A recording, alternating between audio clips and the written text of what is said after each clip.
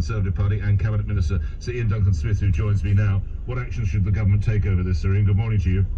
Uh, morning, Nick. Um, well, this uh, has uh, turned into a legal farce, really, because all our courts have agreed that the government may go ahead with this, including the Supreme Court, uh, to be overruled by a court that had no representations made to it uh, and just intervened on the back of stuff that it had uh, read, as it were. So it's a ridiculous point. The government's got to deal with the convention anyway. If we have our own Bill of Rights, uh, then we shouldn't have to refer constantly back uh, to the court in Strasbourg because we should rely on our own courts to be able to uphold human rights and the rule of law, which they were doing the other day. So the government should proceed, continue to go on with this because um, one of the big problems is that people are dying uh, in the channel. Uh, uh, in these rickety boats, uh, abused by the traffickers, paying huge sums of money, and people die in the channel, and not one single alternative has been raised. The one thing that people say is, oh, they should make the channel, the, the, you know, the, the route in easier. Well, that just means you end up with more asylum seekers coming out of asylum who are actually coming for economic reasons. I don't have any problem uh, as it were, for people trying to get into countries uh, for economic reasons, but that's not asylum seeking. They shouldn't be under the asylum seekers procedure, which is about those who are suffering serious uh, depredations and problems as a result of what happens to them personally in their own country. So the government's got to continue with this. A couple of points. You say deal with the European Court. Does that mean come out of the ECHR? Well, the key thing is to whether or not the ECHR, at the end of it all, should have the final right in Strasbourg to overrule the Supreme Court here in the UK. After all, in America, uh, the Supreme Court in the United States. In 300 yards, keep left to continue on Church Street. and both the High Court, the, the Appeal Court, and the Supreme Court ruled that this was lawful for the government to go ahead. Uh, uh, and if eventually the ECHR rules that this is lawful, then we will have got ourselves into a mess for no reason. The truth is, this was always a voluntary affair, the ECHR, and uh, many countries sign up uh, to some, but not all, of the requirements in the E ECHR that is allowed. So the government needs to look at this very carefully and decide what we're going to do about it. And lastly, you touched on this, Sir Ian. Of course, people would say these individuals have no other route. There is no other way. Keep left to continue on Church Street. Should be centres in Calais. There should be centres wherever. How would you respond to a more legalised or formalised fashion for these individuals to seek access to the United Kingdom? Continue for three quarters of a mile. But it is a swifter process. But let's just remember, uh, these individuals have crossed countries that are members of the ECHR, that have human rights and the rule of law to get to the UK. It's not a case of them getting into a country where they will be treated fairly and freely. It's actually that they've crossed many countries for that reason because they've decided they can choose which country they want to come to. That's not the point of asylum. Asylum is when you leave a country where you are being abused to get to another country that will not abuse you. That has already happened by the time they get to Calais. The question really is, what do we do about those? there is a queue to get in, but what do we do about those who are abused by traffickers? I mean, I was one of the ones that brought the Modern Day Slavery Act in.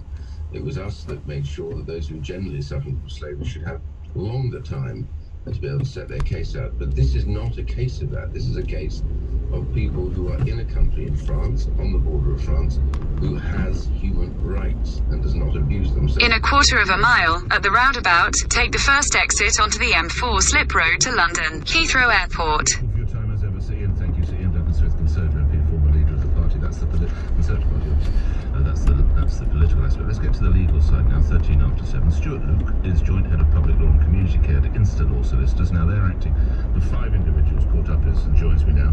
Uh, your reaction, just in a sentence, then we'll come to other matters. Your reaction to the decision last night from the ECHR, Mr. Luke. Good morning.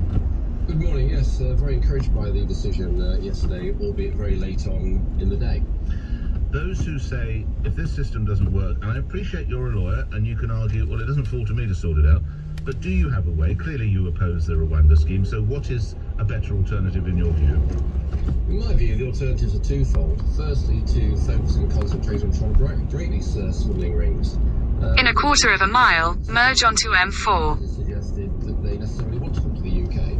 They're forced to uh, come to the UK, and these smuggling rings get paid more and more money the further uh, uh, west uh, they they bring uh, these vulnerable asylum seekers. So the real focus has to be on trying to break down these vulnerable these rings Yes.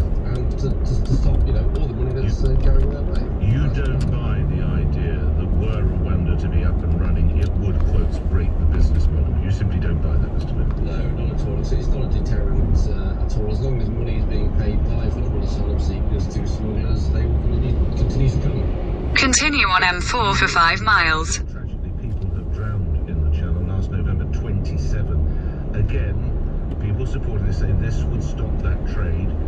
They would argue you and colleagues in the legal profession are continuing to facilitate it, Mr. Luke. No, not at all, and it certainly wouldn't stop them. Uh, you know, we've had periods in past years where uh, lorries have been the main focus of individuals coming over the channel. Now we're in dinghy boats. Uh, if uh, they were stopped in the channel, soldiers would find another way. Lastly, if I can put it this way, three decisions went the way of the government in British courts. This was overturned, obviously, by the ECHR, by a judge or judges out of hours, merely going off documents, no submissions from your side or from the other side. How relaxed are you about that? Well, there were submissions in the sense that there were written submissions. Yes, but, but with no sort of uh, uh, cross-questioning, for want of a better expression. no, No, it's also- representa- no representation, active representation. Absolutely, um, Yeah. How, how comfortable are you? with that? It, it does. To many of my listeners, I'm reading their emails. They, they think that's a little bit strange. Something as if this level of importance. Why were you not allowed to represent yourself? Why was the government not allowed to represent itself? Was also worth saying that the Supreme Court didn't have any oral submissions when they refused the commission as well. But in relation to the, uh, the question, the fact of the matter is that because of the timing, how quickly this has been done by the government, there's been very little opportunity at all for individuals who were on that flight to get representation, let alone uh, bring their cases to court. And so this is a factor of how quickly the government wanted to push forward on the Rwanda scheme and start sending flights over there. Had they taken a more balanced approach, there'd been plenty of opportunity to get into court and hear full oral submissions uh, before any decision was taken to, to send the flight off the tarmac. Lastly, so obviously respecting your client's confidentiality, are there any details you can tell us about the five individuals you're acting for, or would you rather not go into any detail? I mean, I can only give very generalised Of course, details of course. that all, all of them you know, are at risk and have been told they will be sent to Rwanda in circumstances where they've fled their country uh, fear and risk of persecution. And can you tell us which countries they were, or would you rather not? Uh, we have Iraq, Iran, Syria, Sudan, and Eritrea. I'm grateful for your time. Stuart Luke, you're joint head of public law and community care at Insta Law Solicitors. You're acting for five individuals. We'll come to your reactions on that. 7.16, the LBC News headlines now. Simon Conway. A last-minute legal ruling by European judges has stopped the first deportation flights to Rwanda. A second suspect has been arrested over the disappearance of a British journalist and a local expert in the Amazon rainforest. And there's a warning almost 200,000 coastal properties in England are at risk of being lost by the 2050s. LBC weather, fine, dry and warm for most, a high of 28 degrees. LBC Travel, I'm Joanne uh, Webb. Delays on the M4 eastbound between the M25 and Junction 4 at Heathrow, and that's following an accident. All the lanes are open now, but it's still very slow. Two lanes are closed on the M3 northbound up to Junction 3 at Lightwater. It's because of emergency repair works, and as a result, there are queues on the approach. In Shoreditch, Great Eastern Street has just been closed northbound at Curtain Road, and that's following an accident. Very busy on the South Circular Road both ways to Kew because of the ongoing works. On the underground, there's no service on the Bakerloo line between Elephant and Castle and Lambeth North for the emergency works, and minor delays on London Overground services between Sydenham and West Croydon. This is LBC. Got the tickets, Sergey? Yep. Now, what movie are we watch? Ooh, an adventure. Ah, where are we? Look at the cobwebs. Oh, I don't know. It's scary. Okay, stay close to me, and whatever you do,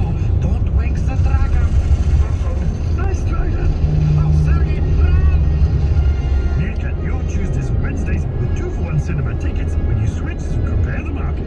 With a qualifying product, one membership a year, participating cinemas Tuesday or Wednesday, two standard tickets only, cheapest free. T's and C's apply. Call Nick Ferrari now. 0345 6060 973. In two miles, at junction 4B, exit towards M3, M23. Drivers in a first of its kind UK settlement. At My Diesel Claim, we're handling claims against numerous vehicle manufacturers and represent over 600,000 drivers who have already started their claim. If you owned or leased a diesel vehicle between 2009 and 2020, you could be eligible for significant compensation. It's easy to sign up. Simply head to mydieselclaim.com and start your claim today. Ever dreamt of running your own business? It may be easier to achieve than you think.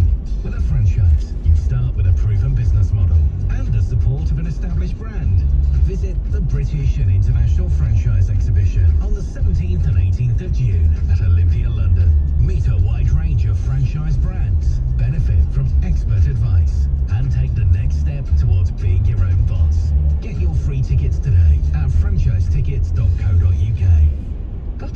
To send? Do it the easy way with Royal Mail. Go online, buy your postage, save yourself some cash, and arrange for your postie to collect it. Don't worry if you can't print your label. Your helpful postie can bring that for you. They'd love to stay and chat too, but you know, parcels don't collect themselves. Click, save, we collect. Visit send.royalmail.com. Savings based on online parcel prices compared to over-the-counter prices. Exclusions apply. Nick Ferrari at breakfast. Call 0345 6060 973. 20 minutes after 7.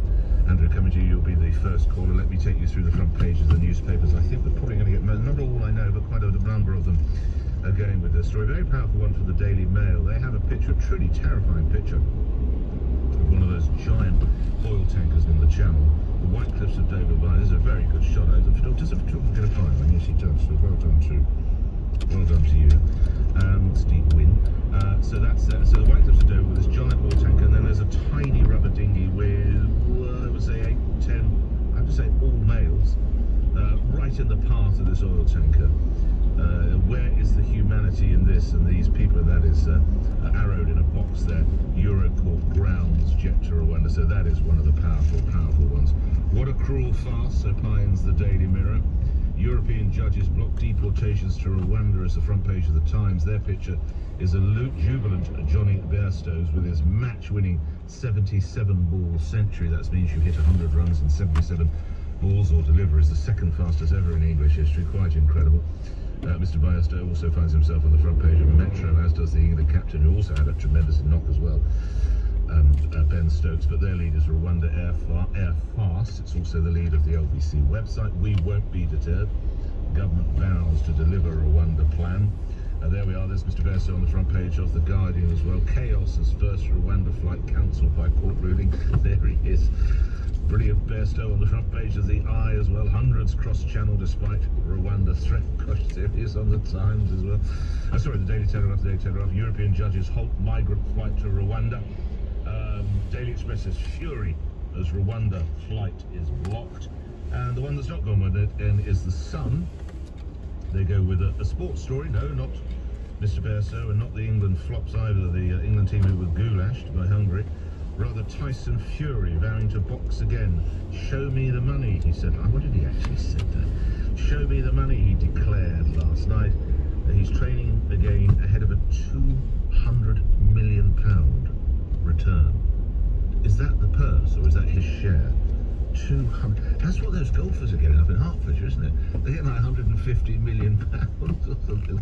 Great work if you can get it. Okay, enough of me. Andrew in Halifax. What should the government do? Accept defeat or press on? Good morning.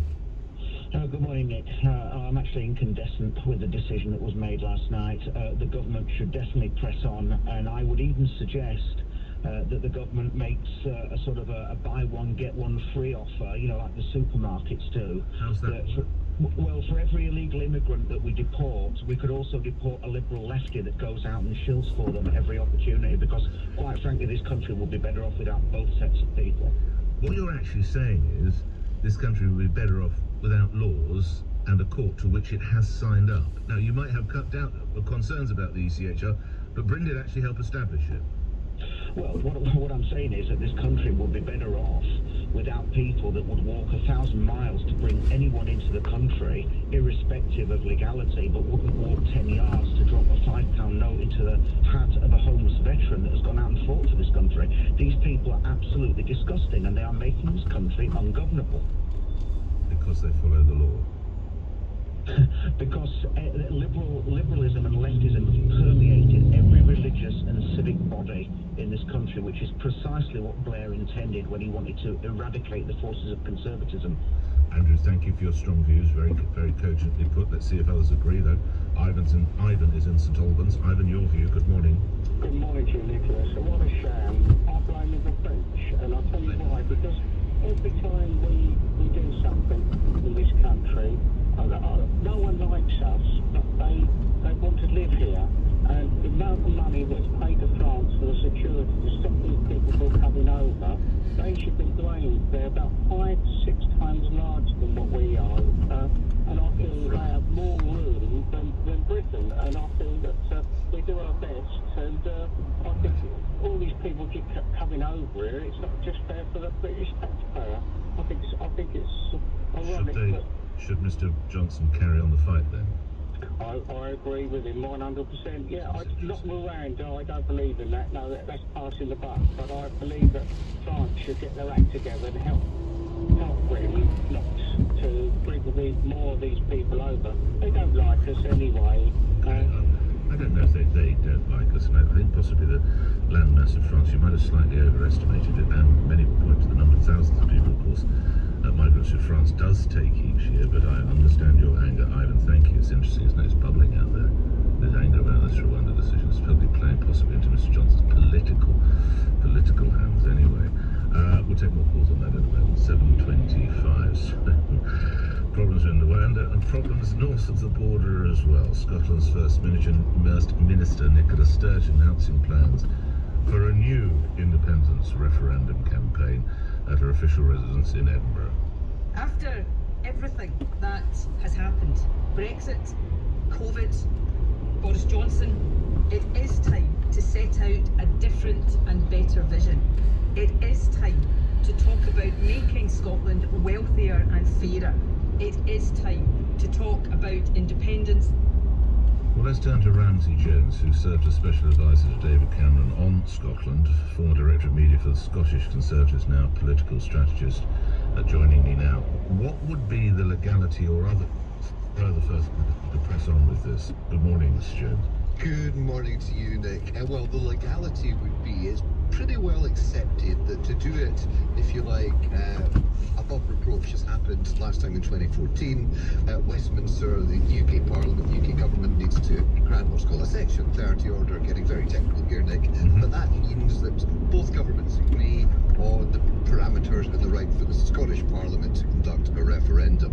It is inconceivable that that's going to be forthcoming within the 18 months that Nicola Sturgeon wants to hold one. And she's now dangling this prospect that in the next couple of weeks she's going to pop up in the Scottish Parliament and say, this is how we can hold one anyway. And I was just reflecting that you had that chat about Rwanda and the flights on there just now. And there's a massive parallel happening both sides of the border. In both cases, a government with a policy that sort of splits the country down the middle, either trying to be the victor by getting their way or the victim of the courts if they don't get their way and having someone to blame. In 300 yards at junction 4B, exit towards M3, M23. Exit at junction 4B, then keep right at the fork.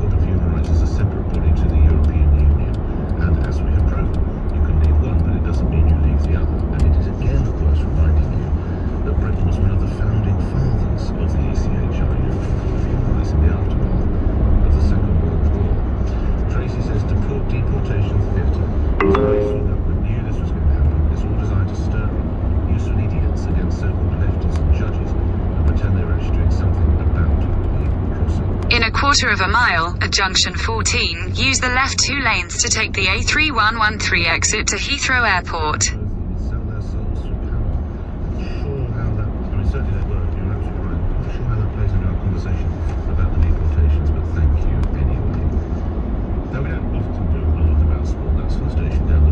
Use the left two lanes to exit at junction 14 then keep right.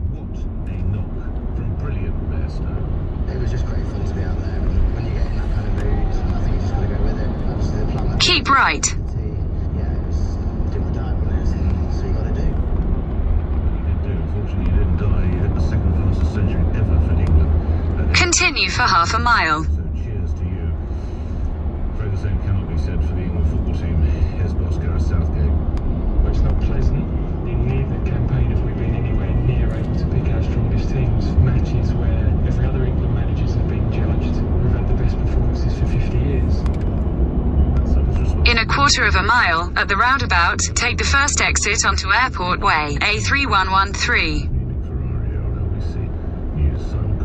Priti Patel says she will not be deterred despite the last-minute grounding of the first Rwanda deportation flight. The European Court of Human Rights granted an interim measure last night, overruling decisions by UK courts. The Home Secretary says preparation for the next flight begins now. A second arrest has been made over the investigation into the disappearance of British journalist Dom Phillips in the Amazon. Brazilian police say the suspect is the brother of the first person arrested. Pharmacists will be used to check for potential cancer cases as part of a new NHS trial in England. They'll be given more powers to send patients for scans and tests in the hope of improving the speed of diagnosis. LBC weather, fine, dry and warm for most, cloudier with showers for parts of Scotland and Northern Ireland, a high of 28 degrees. This is LBC. Got a parcel to send? Do it the easy way with Royal Mail.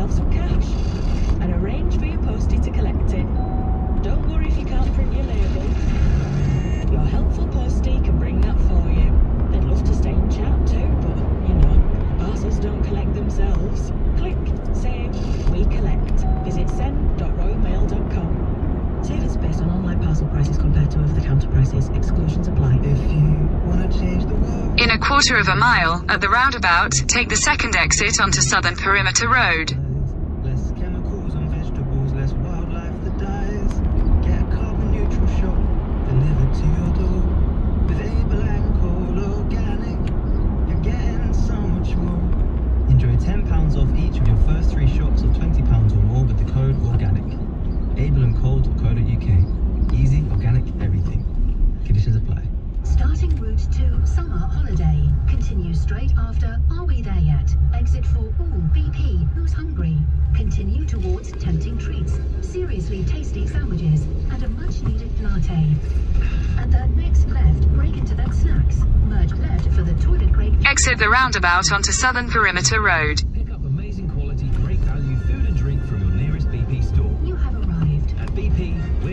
In 300 yards, at Western Perimeter Road roundabout, take the second exit and stay on Southern Perimeter Road. Connecting more people and places than ever before, with amazing journeys.